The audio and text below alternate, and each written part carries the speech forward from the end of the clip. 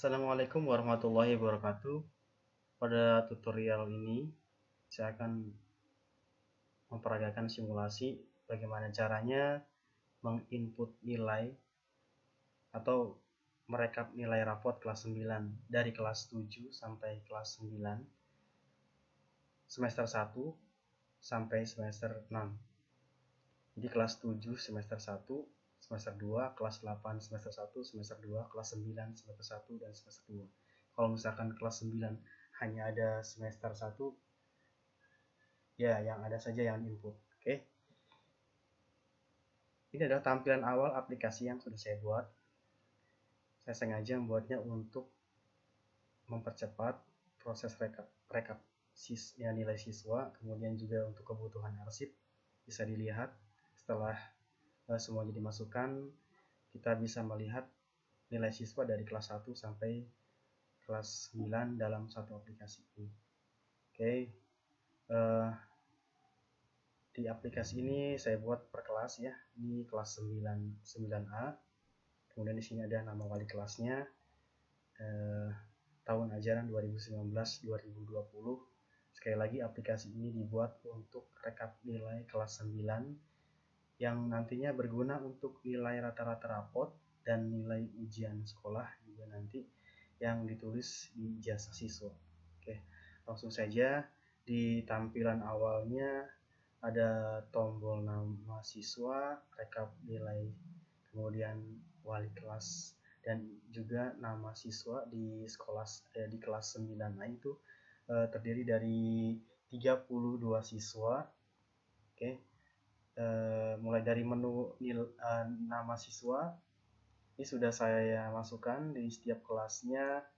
Ini untuk contoh saja di kelas 9A ada 32 siswa sudah saya inputkan. Jadi tugas wali kelas eh, atau cara menginputkannya tinggal mengklik saja di tombol yang berwarna kuning ini.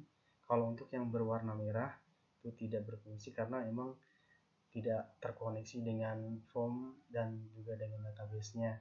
Kemudian tombol atau menu rekap nilai itu masih kosong karena memang uh, belum diinputkan. Kalau sudah diinputkan nanti ada nilainya nanti akan keluar di sini. Oke ini ada mata pelajarannya di sini juga ada nama wali kelas nama siswa kemudian nama wali kelas ini sebatas uh, nama nama saja di kelas 9 wali kelasnya ya langsung saja di aplikasi ini saya contohkan hanya satu siswa saja sebagai simulasi langsung saja tom tekan tombol input nilainya Oke, nanti apa yang kita isikan di sini akan tampil di rekap nilai. Jadi kita isi. Pertama yang harus dipersiapkan adalah buku rapotnya, rapot kelas 9. Kemudian kita pindahkan di sini. Jadi tugasnya atau yang diinputkan adalah yang di warna abu-abu ini. Kalau yang di warna putih dan biru kuning tidak yang diinputkan adalah yang di kolom warna ungu uh, ungu uh, abu-abu ya oke saya contohkan punya atau siswa yang bernama Abdul Malik Karim Amrullah misalkan PAI-nya misalkan 80 PKN-nya 79 bahasa Indonesia misalkan 79 bahasa Inggrisnya 78 ini hanya simulasi saja. Asli nilai aslinya nanti nilai dari rapot ya. Matematika misalkan 76 IPA 79 IPS 78 seni budaya 80 ini contoh saja uh, Penjaskes 80 prakarya 78 Yaseng karena di kelas 1 itu belum ada atau di semester 1 belum ada maka kosongkan saja. Berikutnya, atau kita langsung lihat-lihat aja sementara hasilnya. Nah, ini baru semester 1 atau kelas 1 semester 1 yang sudah kita input. Karena di kelas 1 belum ada nilai uh, mata pelajaran jasa maka kosong di sini nggak ada. Yang kita inputkan yang ada saja. Kemudian di semester kedua semester 2 kelas 7 semester 2 kita inputkan juga misalkan PAI nya 80 kemudian PKN eh, 79 bahasa Indonesia misalkan 80 oke saya cepat saya percepat ya pengisiannya.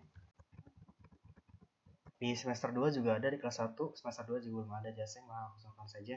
Sekali lagi di jaseng han, uh, kebetulan di sekolah ini hanya uh, ada pada kelas saat kelas 9 di tahun ajaran 2019-2020 kalau misalkan jaseng nggak ada dikosongkan saja kemudian di semester 4 oke kita isi. Jadi ini hanya simulasi nanti aslinya nil, eh, nilainya dilihat di rapot di buku rapot saya percepat. Kosongkan juga karena nggak ada. Kemudian di semester 4 di semester 4 juga ada di kelas 8 semester 2 juga ada. Kemudian di kelas 3 kelas 3 semester atau kelas 9 semester 1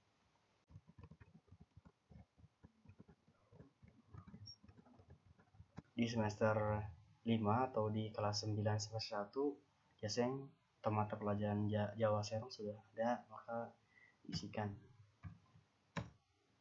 Di semester 6 belum ada karena semester ini semester semester 2 ya kelas 9 semester 2 jadi dikosongkan saja hanya sampai di semester 5 satu semester 1 sampai semester 5 oke yang sudah kita inputkan tadi hasilnya nanti bisa kita lihat di menu rekap nilai.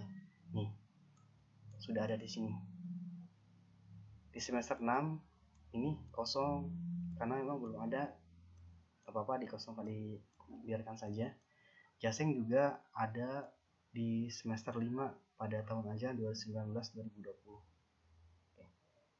Jadi itu caranya mudah-mudahan eh, aplikasi ini bermanfaat, mempercepat, kemudian juga berguna untuk eh, arsip bisa bisa melihat nilai siswa dari kelas 1 sampai kelas 9 oke mudah-mudahan bermanfaat. Banyak ini uh, video ini juga bisa dilihat di channel YouTube saya di Walau Ayah Channel.